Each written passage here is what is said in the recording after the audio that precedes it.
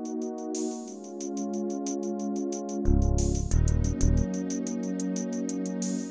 guys, we're uh, at Wood Stock and uh, we're talking to Walter. Walter is from uh, from Wood Stock and they make uh, wooden frames naturally, but uh, he also showed me some really really cool uh, designer frames. And uh, can you tell us something about it, uh, Walter? Yeah, uh, we have a special designer in our company. His name is Daniel Sotbauer. We use the name for the name for the glasses for DAX, yeah.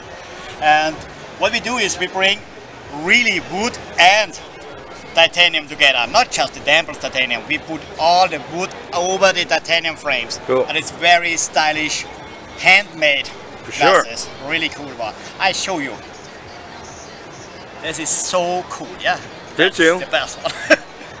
and we use uh, nylon lenses and uh, anti-reflective. We all use just the best one for a good designer glasses. That's it. Some great stuff, right? Yeah.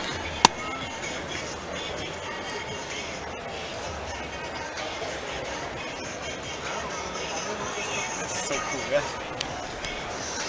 So, yeah, that's it. Thanks, buddy. From my side.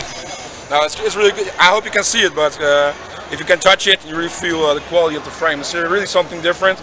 It's uh, it's wood and titanium, and it's it's not two materials. It's like it's one frame. Yeah. Uh, I correct? Yeah, yeah, absolutely. Very well done.